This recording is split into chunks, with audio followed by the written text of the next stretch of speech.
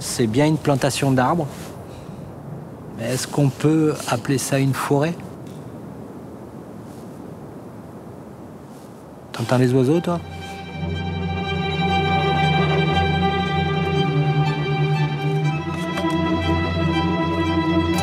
C'est la négation du métier du forestier, ça, hein, quand on voit ça.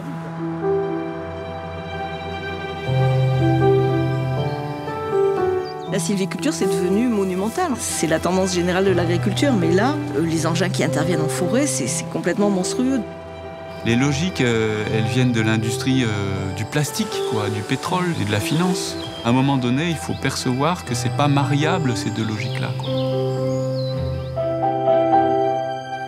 Sapin 35 Et je vois la forêt peut-être plutôt comme une continuité que comme une plantation qui doit être coupée pour finir le cycle.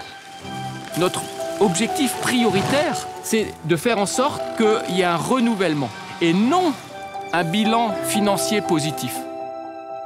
On veut préserver des forêts, continuons le combat pour en préserver le plus possible.